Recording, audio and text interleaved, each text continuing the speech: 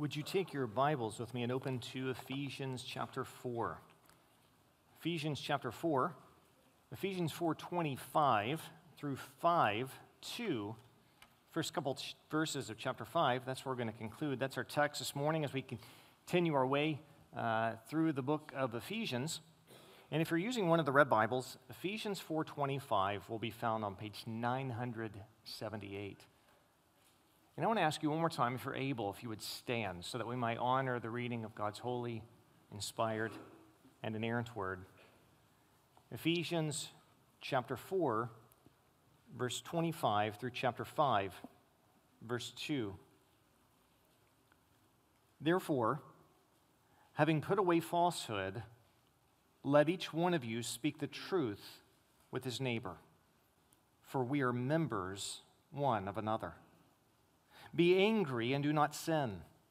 Do not let the sun go down on your anger, and give no opportunity to the devil.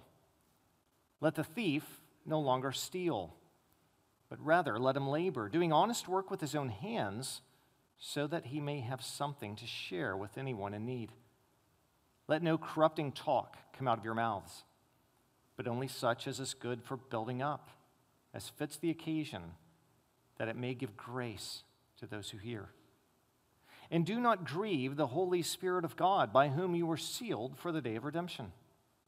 Let all bitterness and wrath and anger and clamor and slander be put away from you, along with all malice. Be kind to one another, tenderhearted, forgiving one another as God in Christ forgave you. Therefore, be imitators of God as beloved children, and walk in love as Christ loved us and gave himself up for us, a fragrant offering and sacrifice to God. Would you remain standing as we pray once more? Father, would you help us now to be changed by your word? Give us eyes to see and ears to hear. Open our hearts to receive it. Father, these commands in this text are in some ways clear and straightforward, perhaps in some ways easy to understand. But we acknowledge they're hard to live out, and we want to. So, would today just mark a day, even in the life of our church? May today mark a day when these things are put aside and we pursue that which builds up this body. Would you do this for our good and for your glory? We pray this in Jesus' name. Amen. You may be seated. On this very date, 23 years ago, I concluded the sermon that day, part of the application of the text I preached. I walked around front and stood behind a table where we had a stack of church covenants. And I called out individuals that day, about 60 names, I called them out one by one, and they would get out of their seat and walk to the front and sign a copy of the church covenant. It was a day in which we were somewhat reconstituting our membership. Already, we had become a church through some odd situations, really like most other Southern Baptist churches. The average Southern Baptist church, the last time I was given the statistic, the average Southern Baptist church has 290 church members and 70 people in attendance on a Sunday morning. And I knew we didn't want to be that. We wanted membership to be meaningful. We wanted to walk together and live together in a meaningful way. And so we decided to do really what churches had done consistently all the way up until about the middle of the 20th century to take a church covenant and have our members sign it. It would be a declaration that uh, we wanted to commit ourselves to the Lord in obedience to His word and to one another to walk faithfully together. The covenant we signed that day, October 29th of 2000, is the same covenant all of our members still sign today. In that covenant, we declare things like we will work and pray for unity among the members of this body. We will rejoice at one another's happiness and by tenderness and sympathy bear one another's burdens and sorrows.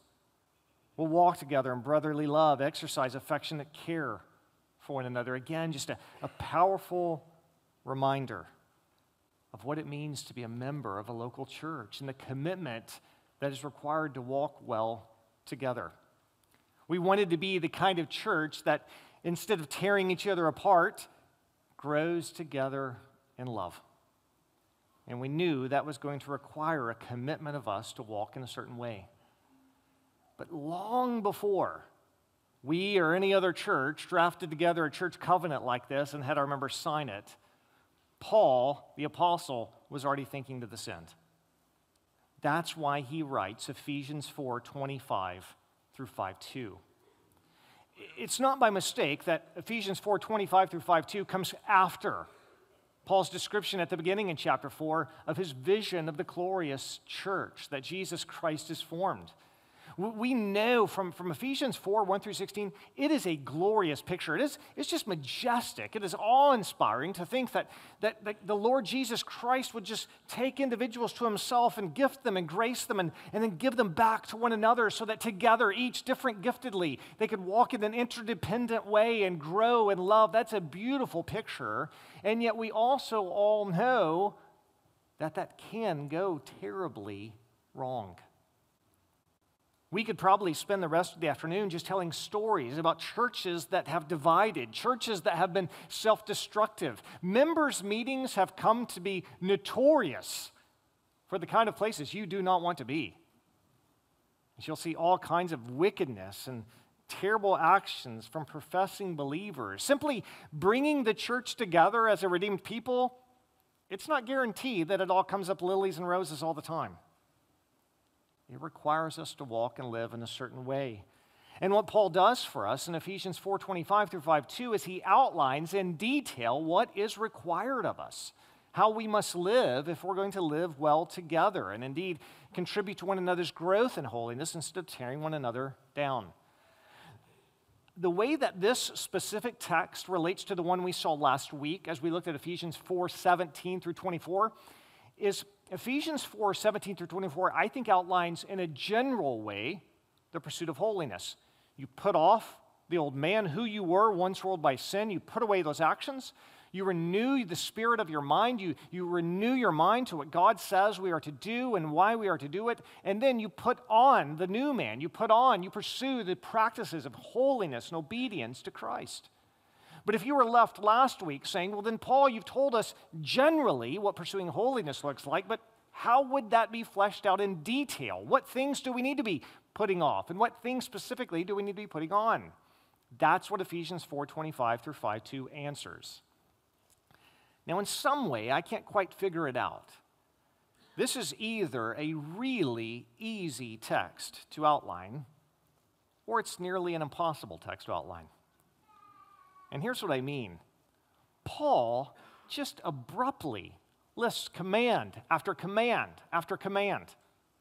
It's hard. I sat around with the interns this week saying, Is there an easy way that we can outline this in a couple of points? And I couldn't figure it out. And maybe that's Paul's point. Maybe Paul would say to me, if he were standing here, quit trying to do something fancy and just tell them the commands.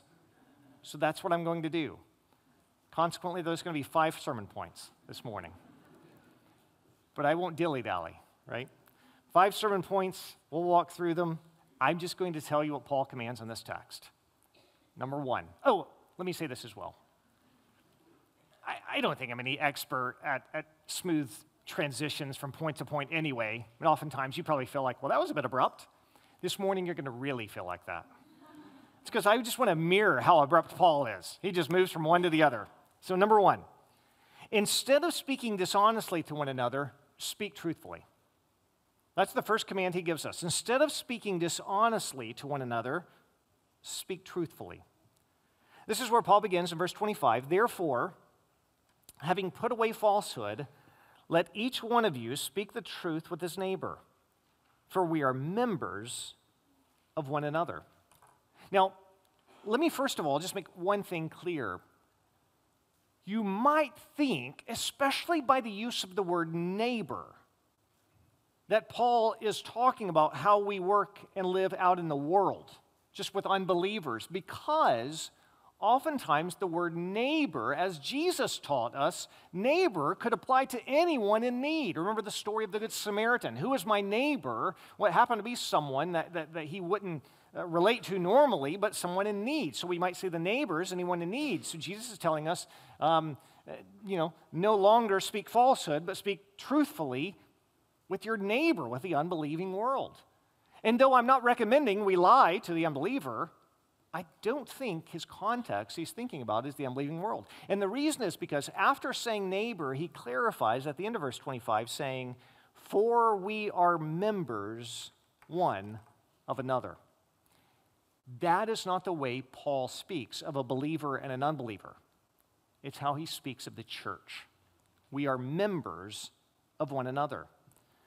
Therefore, you and I need to, as a church, if we're going to work well together and make sure that we grow together instead of tearing each other down and tearing each other apart, we need to make sure, one, that we're just not lying to one another, but instead that we're speaking truthfully.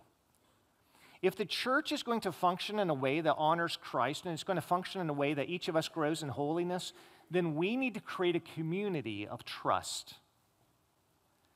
I remember when I was younger, maybe third grade, um, I, I, grew up in public school uh, in, in, Kentucky.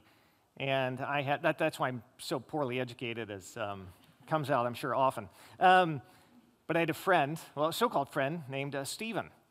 And I remember Stephen, we got together, and his conversation, even as a, a nine or 10 year old, was what a lot of public school kids were thinking about and talking about in uh, the early 80s in Kentucky, which was um, who are you interested in?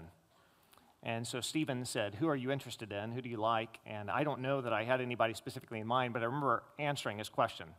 And honestly, I was trying to jog my memory this morning. I can't remember if I said Stacy or Lacey, which is funny. It's not that I'm stumbling over how, what, what, I said, that I mispronounced it or something, is that there was literally, there was a girl named Stacy and a girl named Lacey. I can't remember which one I answered, but I answered one of them. And um, again, I don't, I don't know how interested I was, but I, I said that.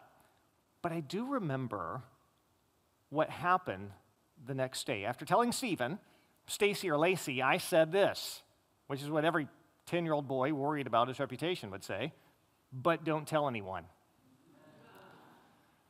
And I remember the next day having like five or six people come up to me and go, Oh, I hear that you like Stacy or Lacey or whoever it is that I said. And this was the day, like texting didn't exist then. There was no group texting. Stephen was just impressive. I mean, he had made his way around, right? It was really good. Well done, Stephen, you know? And uh, he had just told so many people. And I remember, even as a kid, that, that day, something settling in my heart that said this um, You probably can't really have close friends in whom you share secrets because this is what happens. And praise the Lord, by His grace, He brought a friend named Jeremy just a year later into my life. And uh, I decided I'm going to give it another try. And I told Jeremy, hey, you know, here's some secret or whatever. Um, and he kept the secret, he was trustworthy. And it changed my life and all of a sudden began thinking, man, one of the greatest things in the world is pulling together people in your life whom you can trust. When you have that, it's a glorious thing. Well, that's what Jesus Christ longs for his church to be a people who are brought together who know we can trust one another because we do not speak falsehood, we speak truthfully, we speak honestly, we understand that we are members of one another. And so if I'm not speaking truthfully to you, but instead of speaking falsely to you, it's like doing something to harm myself. We're members of one body. And so that's the first, just easy, straightforward command Paul gives us in the text. Instead of speaking dishonestly to one another, speak truthfully. Now, abruptly, second point. Number two, don't sin in your anger and make sure it's short lived. Don't sin in your anger and make sure it's short lived. In verses 26 and 27, Paul writes, Be angry and do not sin. Do not let the sun go down on your anger and give no opportunity to the devil. Now, one thing I'll admit that can be confusing about verse 26 because Paul starts that verse saying, Be angry. And if you'll go down to verse 31, you'll note that he says, Let all bitterness and wrath and anger and clamor and slander be put away from you. So, how do we reconcile verse 26, where Paul begins, Be angry and do not sin, and verse 31, where Paul says, Put away all anger? So, are we allowed to be angry? Are we not allowed to be angry? How, how, how does this work? Well, some have reconciled it. I think there's basically two approaches, and, and, and maybe either one of these would work. I, I think I'm going to go with the latter. But one way that you can approach this is by saying this there is never an excuse for a believer to be angry. That's what Paul's making clear in verse 31. And so, what's happening in verse 26 is Paul is speaking in terms of a concession right? He's saying, don't get angry, verse 31, but if you do find yourself angry, let me show you how to navigate that without sinning. That may well be what Paul's doing.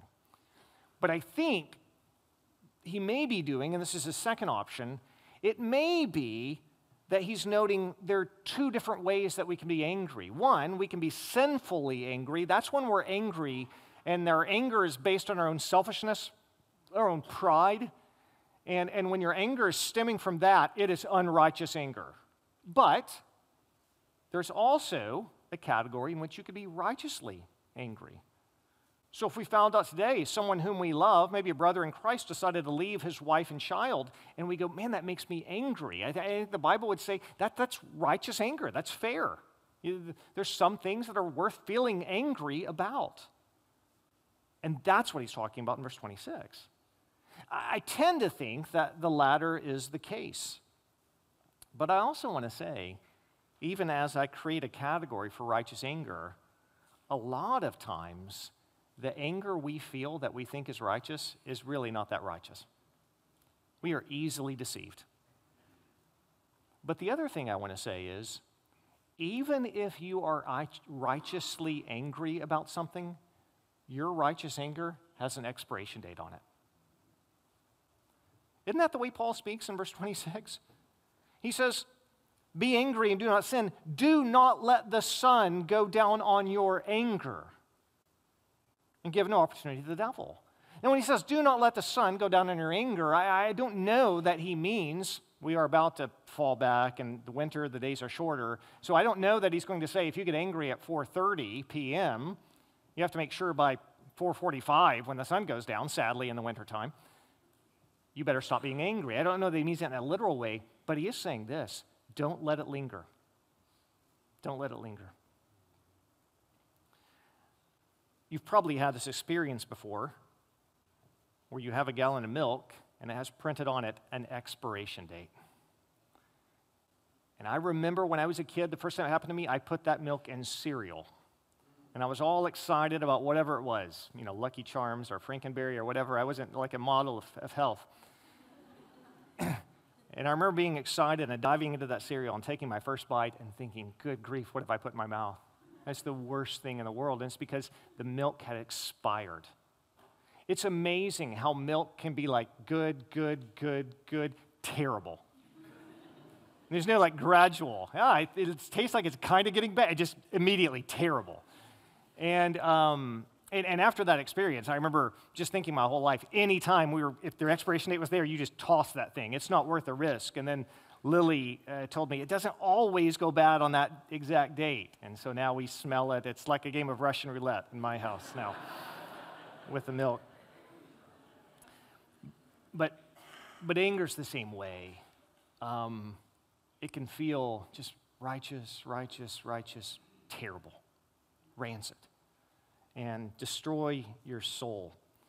And Paul says when we let anger linger, we open the door for the devil. He sees it as an opportunity to exploit our anger. And have you ever met anyone? No doubt you have. Maybe, maybe, maybe an older man, and you just think to yourself, he's just angry all the time. Well, how do we get there? We get there by letting even righteous anger linger. And when it does, the devil seizes the opportunity and turns you into a bitter person. And, and the great risk for us, I think, is that we live in a culture where you have plenty of reasons even to feel righteous anger. We live in a culture where, where they kill babies, where uh, children are being given uh, puberty blockers that, that have uh, long term consequences in their life, right? Uh, just looking at social media will give you reason to be angry. Watching the news will give you reason to be angry. Thinking about the decisions that your government makes will make you feel angry. And yet, every time you feel angry, you are playing with a ticking time bomb. And so, what we must do in those moments when we feel righteous anger is we need to pray. We need to pray. Now, now praying will do two things. One, if you feel righteous anger over something you can do nothing about, praying allows you to take the step of asking the Lord to do something about it.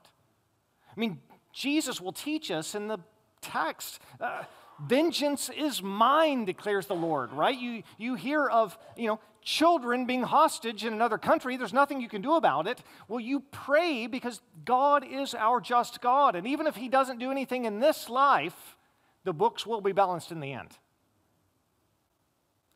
But another reason we should pray is because the Lord is often pleased to move in response to our prayers as we live in this life, right? He um, is pleased to use our prayers as the means whereby He brings about His justice in the world. And so pray. In fact, what if all the time believers spend expressing to one another how angry we are about situations. Oh, did you hear what so and so said? Oh, did you see this on social media? What if every time we felt angry about those things, we used it as an opportunity to pray? Good grief, we would pray a lot, wouldn't we?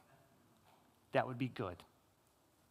So allow this anger, instead of lingering in your life, allow it to channel you toward prayer, asking the Lord to do that which would honor him. Lord, may it be done on earth as your will is perfectly done in heaven. Be angry, Paul says, and do not sin. Don't sin in your anger and make sure it's short lived. Number three, don't steal, but work. That should say hard. Work hard, not had. Uh, don't steal, but work hard so that you can give. Don't steal, but work hard so that you can give. Verse 28 Let the thief no longer steal, but rather let him labor, doing honest work with his own hands, so that he may have something to share with anyone in need. The first half of this verse, I think, is honest and easy. Let the thief no longer steal. I doubt anyone is thinking, oh, I had a really pro stealing argument I was ready to make, right? I, I, think it's clear and straightforward and easy. Do not steal.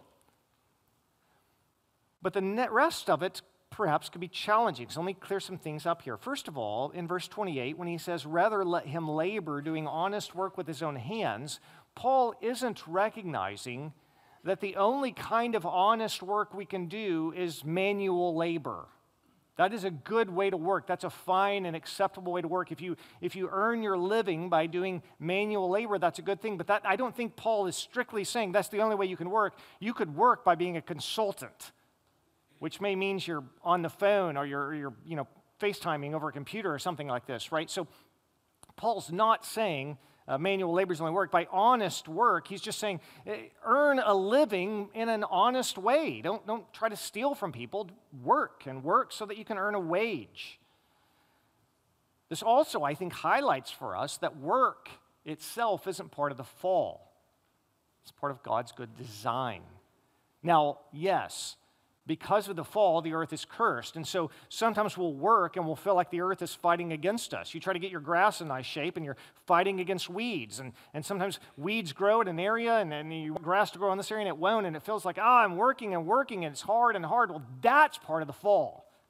That work can be so strenuous and feels like it's fighting against you. But the idea of work itself is God's design, it's a good thing. Believers should be known as hard workers. But also interesting is the reason he gives for working. He doesn't say, work so that you might provide for yourself. Now, certainly, that's a necessary element. Paul will say some strong things about the individual who is unwilling to provide for his family. So we do work to provide for ourselves.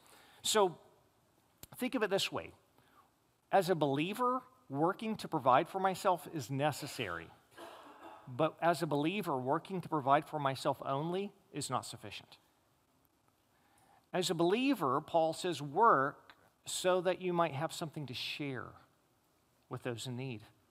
One of the reasons you and I work throughout the week is yes, so that we can provide for our family, but another reason we work throughout the week is so that we might have something to give, so that we might bless others, so that we might meet the, meet the needs of others who indeed have needs. As a church, we have an account called Storehouse, a, a, part of our budget labeled Storehouse. That part of the budget is set aside to provide for any member of our church in need. We do not want any members of our church to be in need. Well, how do we have that money? How, how can we meet the needs of members of our church? Because other members of our church work hard and give in order that that member have who has need may be provided for. In fact, all of us do that. It may be that you're working and giving today and your need arises tomorrow, in which case the church can bless you and benefit you. I remember when we had COVID and individuals, some of them were, were, were not able to work. There was a time when we sat back as pastors saying we want to make sure that everybody is provided for during this time. And I remember many of you just above and beyond your regular sacrificial giving to the church, came and said, If there's any member of the church who has need, I want to know because I want to provide for them. Brothers, that's the spirit that Paul is pointing us toward here. So, as believers, not only are we speaking truthfully and trustworthy to one another, not only are we in our anger not sinning, but also we're working hard in order that we may give, that we may provide for one another. And this then brings us to point number four. Instead of using corrupting speech, speak only that which builds up others. Instead of using corrupting speech, speak only that which builds up others. When I was young, I've shared this before, and I, I do share it to my shame uh, genuinely so. Again, I mentioned public school, Kentucky, right? Um, embarrassingly so, uh, from the time I was nine years old until the time I met my friend Jeremy, uh, when I was about 11 years old, I cursed like a sailor. It's, it's, it's really embarrassing. It was utterly, if nothing else, utterly dishonoring to my parents. And uh, until, I'll say just a quick thing, I, I, said I met that friend Jeremy and it changed my life. Not only was he trustworthy, but, but I cursed so much that I remember the day that I met Jeremy, I got to the end of the day and I said to him, You've, you've not said a cuss word all day long. As if that was impressive. It was to me, you know. In 1986 or whatever it was, that was, wow, well done, you know. And uh, I remember his response was, That's right, because I'm a Christian, which is one of the more convicting things I heard in my life and changed my life. Because I said, well, I'm a Christian too. Therefore, I want to start honoring Christ. And um, I remember the verse I memorized was the first part of Ephesians 4:29. Let no corrupt, I memorized it this way, let no corrupt communication come out of your mouth. Or as Paul says here in verse uh, 29, let no corrupting talk come out of your mouths. Now, I'll say, as much as it was helpful for me as a nine and 10 year old to memorize that verse in order not to dishonor my parents through cursing, that's a very shallow way to think about this text. This text is about much more than that. Note when Paul says, Let no corrupting talk come out of your mouth, he contrasts it with another way of speaking. He says, But only such as is good for building up as fits the occasion, so that it may give grace to those who hear. In other words, Paul says, if you want to know what I mean by corrupting speech coming out of your mouth, I mean anything that's the opposite of speech that builds up others. Anything that might tear them down, anything that might speak ill of our brother and sister in Christ. And I know this is hard to do. Among all the things that I've said today, this may be the most challenging. I know the temptation when you have a negative encounter with someone. So you run into someone and they say something that's very hurtful to you or, or rude or disrespectful or something like this. It's very tempting for you to go to the very next person you talk to, whether it's your wife or husband when you go home or, or a friend you see on the street and go, man, let me tell you what so and so just said. And then when you relay that, what you're doing is you're communicating about that person that they are evil. You're suggesting evil of them. You're painting them in a bad light. You're definitely communicating they're not as good as I am. Right? You are tearing them down. And I think verse 30 is tied in with that when Paul says, and do not grieve the Spirit of God by whom you were sealed for the day of redemption. I think that, that this is uh, basically a positive way of saying what he says negatively, giving opportunity to the devil when we let our anger linger, linger. Well, when we speak that which tears down and does not build up, it grieves the Holy Spirit. Why? Because of the very thing that Tom prayed just a few minutes ago Christ loves his church. And when believers speak in ways that tear down members of the body of Christ, it grieves the Holy Spirit. So, how about, and I know this is lofty, but by the power of the Spirit of God, we can do it. We are no longer enslaved to sin, we're slaves of righteousness. How about, as members of Cornerstone, we make this commitment? We will not speak ill of our brothers and sisters in Christ. We will not speak in such a way that tears them down, in such a way that suggests evil of them, in such a way that exalts us above them. That is not too much to ask. In fact, that's what Jesus commands. And if the Great Commission is that we are to teach one another how to obey all that Christ commands, it includes this command right here. You and I need to make our commitment. And one thing I think that will make this easier is we're doing it together. So, what that means is when you're with another brother or sister in Christ and you start speaking evil, that person should all of a sudden begin to get very uncomfortable and awkward, right? Oh, good grief. And that should be signaling to you, oh, yeah, I'm speaking evil, my brother and sister in Christ. And if their awkward reaction that feels very sheepish, if that's not communicating, then that person that's feeling very sheepish just say, you know what, let's just not talk that way. Let's just not do that. But let's not stop there. So, on the one hand, let's stop, put away, put off speaking ill of one another, suggesting evil of one another, speaking in such a way that builds us up and put others down. Let's, let's put that to the side, knowing that that grieves the Spirit of God. Now, this doesn't mean that we can't deal with one another's sin, but you deal with one another's sin face to face, don't you? I don't see Tom do sin and go, hey, let me tell you what Tom did. let's pray for him, right? That, that's, how we, that, that's how we cover gossip, right? I'm not gossiping. It's a prayer request about how evil Tom is, right? No, no, no, of course not, right? You confront your brother or sister Christ to their face. Now, if they won't repent, you go get two witnesses, but then only then to go confront them to their face. So let's make a commitment. On the one hand, we'll not speak ill of each other. But on the other hand, let's do something positive. Paul doesn't stop at what not to do, right? Verse 29 let no corrupting talk come out of your mouths, but now he's going to tell us positive.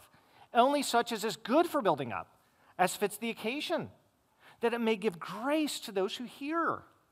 Paul says, I want you to speak in such a way that you're constantly building up other people, that you're giving them grace that they are being built up and edified in the Lord. Good grief, how could that change us? I mean, just imagine if our conversation, both to one another and behind one another's backs, was about the evident grace of God we see in one another. Let me tell you how impressive Tom is, right? That all of a sudden is an amazing way. I want us as cornerstoners, when we come up to somebody and they go, Hey, I was just talking about you, I want us to be eager not bashful about hearing what they had to say, because we trust it was good. Let's point out grace in one another's lives, and let's think of other texts. The Bible tells us we should outdo one another in showing honor. Outdo one another. Jesus says, You like competition? Here's one. Outdo one another in honoring one another. Let that be it. Make it a challenge. That's fine. Jesus is not worried that you will do this too much. In fact, it's funny sometimes how we do this. Sometimes we are holier, we pursue holiness, we think, at a level above what Jesus gives. So we say something like this I want to encourage you, but I want to make sure you don't become arrogant. I think we're more worried about that than Jesus is. I have yet to see that qualification in the Bible. He doesn't say, outdo one another in showing honor, but make sure you insult them on the side, lest they get too honored. You don't want them puffed up, right? Man, that sermon is very helpful today, but you are awkward and thin. right? Like, that's just, we just don't, we don't, I know, I think all of that comes from a good desire, right? Because we know, we know individuals who are arrogant and have destroyed the faith, and we think, I don't want to be means to that. Well, brother, let's just leave, let's just leave that to the Lord. I don't think Jesus will rebuke us if we say, when I speak, I want to be lavish in grace. If I speak, I want to build up. If I speak, I want to be showing honor and trying to outdo everybody else in doing that. In fact, it seems Jesus says, do that and watch how I will build my church. So, can you imagine how glorious it will be if we become a community who will not only not speak ill of others behind their backs, gossip, and do all this, but will actually speak in such a way that we're constantly trying to build up, show grace, and honor? That's not super Christianity. That's just the Bible. Which brings us to our last point, number five, which is really a summation, I think, in verse 31, he gives a, a negative summation. Let all bitter, oh, I'm sorry, let me give you the point. Number five, the point. Put away all bitterness and be kind, forgiving, and loving. Now, I've, I've summed up these verses, which are summation of the rest of the text. I summed up this itself. Put away all bitterness. There's going to be much more there, but put away all bitterness and be kind, forgiving, and loving. So let's look at the first summation negatively. Let all bitterness and wrath and anger and clamor and slander be put away along with all malice. So obviously, when he said, let, let no corrupt speech come out of your mouth, he, he included uh, speech that would be bitter, speech that would be slanderous, right? So, so he's, he's, he's mentioning all these things again because they're a summation. When you let anger linger past its expiration date, it becomes bitterness and wrath and, and sinful anger. Um, right? So on and so forth. So, so, so Paul's saying, I just, just put all that away. Anything that would, that would tempt you to, to tear down, anything that would you know, make others be hindered in their obedience to Christ, just put all of that away. Become a sweet spirited person. He actually says it positively in verse 32 be kind to one another, tenderhearted, forgiving one another, as God in Christ forgave you. Now, the thing I want to note here is that when Paul says, be kind and tenderhearted and forgiving, sometimes I think we can think of kindness and tenderheartedness as personality traits. Oh, that's a kind, tenderhearted person. I'm not so much that way, personality wise. If we think that, then I think we're thinking wrong. Kindness and tenderheartedness aren't unique personality traits, these are fruits of the Spirit, right? kindness, gentleness. That's a fruit of the Spirit. In other words, if you had met Jesus walking around, you would have said, He's kind and tenderhearted. Well, let's be like Him. So, toward one another, instead of being bitter and angry and, and slanderous and, and bring all kinds of evil intent to what we do for, to one another, Paul says, be kind to one another, be tenderhearted, be, be quick to forgive one another. Why? Because God in Christ forgave you. He then sums it up, continue, uh, continues to sum it up in verses chapter 5, verses 1 and 2. Therefore, be imitators of God. When you're kind to one another, when you're tenderhearted to one another, when you forgive one another, you're imitating God because what has He been to us? Kind, tender. He's dealt with us gently. He's forgiven us. Did we deserve it? No. Will your brother or sister in Christ always deserve it? No. But be kind and tenderhearted and forgiving he says, Walk in love as Christ loved us and gave himself up for us as a fragrant offering and sacrifice to God.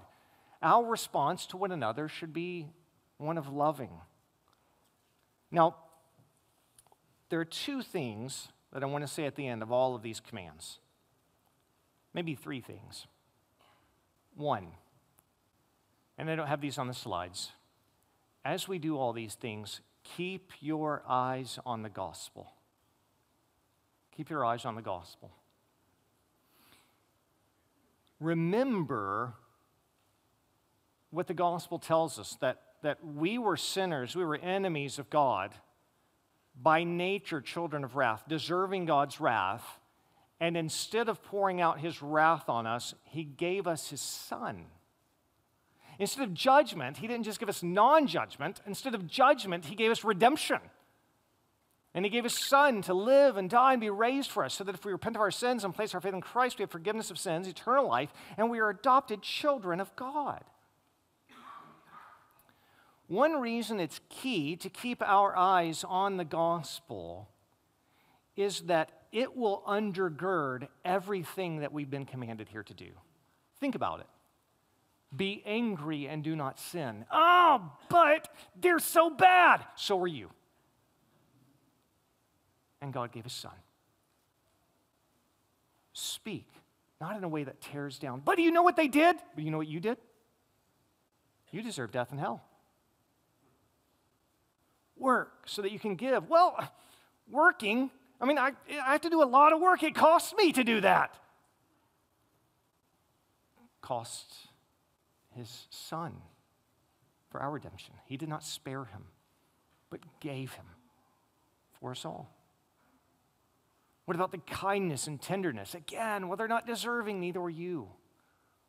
Right? The gospel undergirds everything we do. We really do get to be, as Paul says, imitators of God to one another. So keep your eyes on the gospel. Second, remember how much you're loved by your Heavenly Father.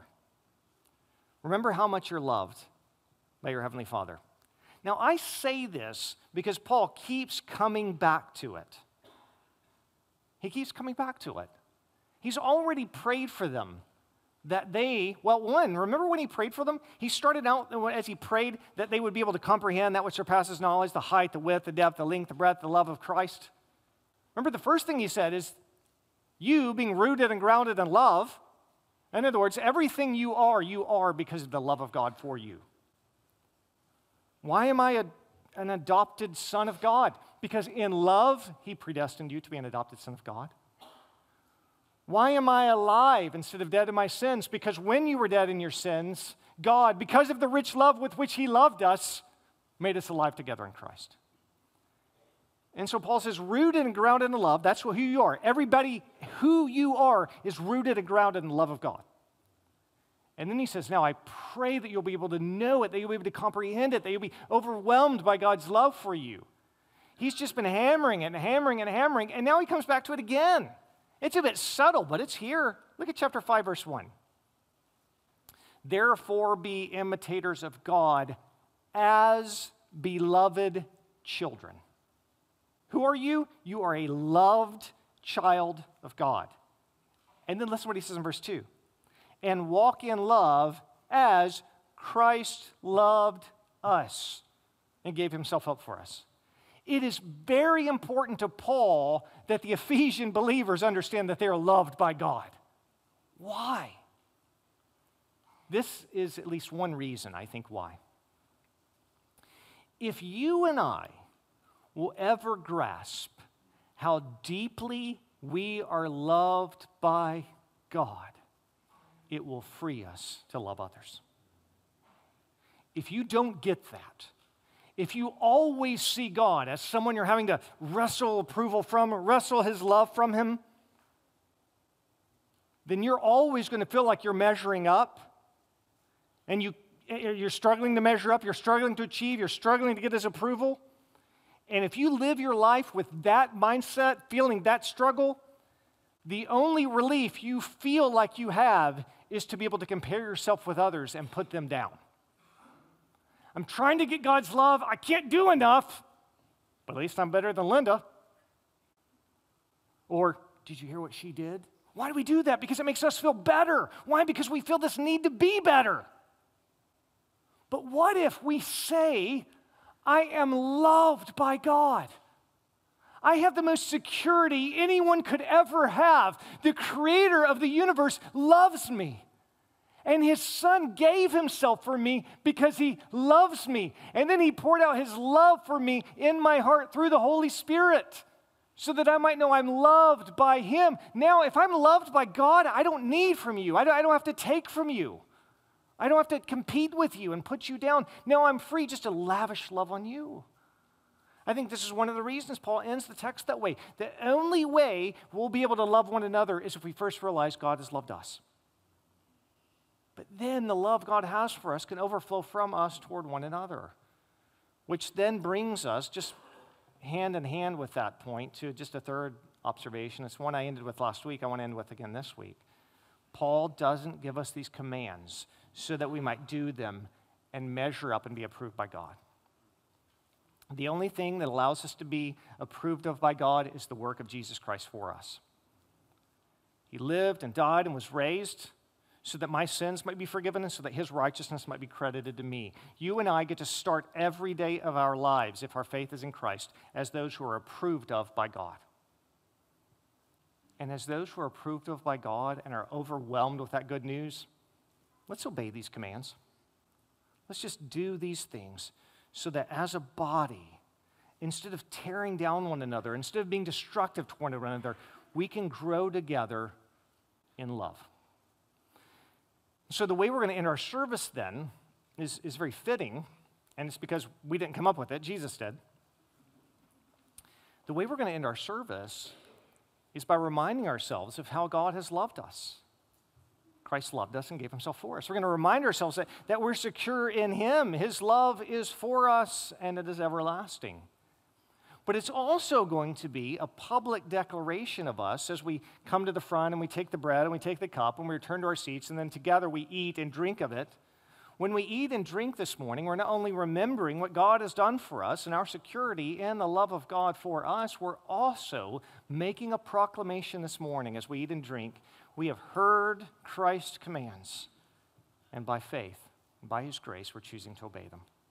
So let this be a day in the life of Cornerstone Community Church in which we say together, we want to obey these commands so that we might be a body who is built up in love. If you're not a believer this morning, I want to plead with you this morning to place your faith in Jesus Christ.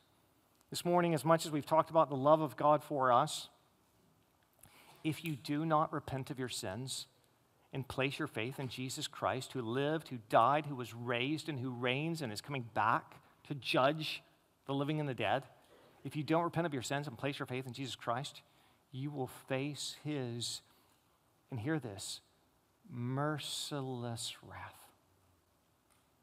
It's a horrendous thought. But he makes it very clear. And as much as we might be ashamed and sheepish to talk that way, the Bible isn't. The Bible doesn't pull any punches. On the day of judgment, all those who have not trusted in Jesus Christ will be cast into a lake of fire, where they will have no rest day and night forever and ever. So if you're not a believer this morning, I want to plead with you to place your faith in Christ. Trust in the one who lived and died and was raised. If you'd like to talk to me, you'd like to talk to your neighbor, you'd like to talk to a pastor, you can talk to me after the service. I'll be, I'll be right here. I'm, I'm tall and thin, right? You can see me. Wherever I go, just track me down. Talk to your neighbor. Oftentimes, in fact, we'll, we'll have it. We have that, I think, every Sunday. At least a couple of our pastors wander out to that lobby. If you want to stop them and say, I want to know Christ, they would love to talk to you. If you're not a believer this morning, I want to plead with you to trust in Christ. If you are a believer, you're in good standing with a gospel preaching church and you professed your faith in Christ and baptism, we want to ask you to join with us this morning, to, to make this proclamation with us this morning that our hope is in what Christ has done for us, and by faith, we will obey what Christ has commanded us to do. So let's take a moment of silence this morning before we come forward. Uh, the musicians will get in place during that time. And then as we come forward, there'll be a pastor on either side and a pastor over there. You'll come and take one stack of two cups and then just return to your seat. Once you're back in your seat, we'll all eat and drink together. So let's take a moment of silence as we prepare to come to the table this morning.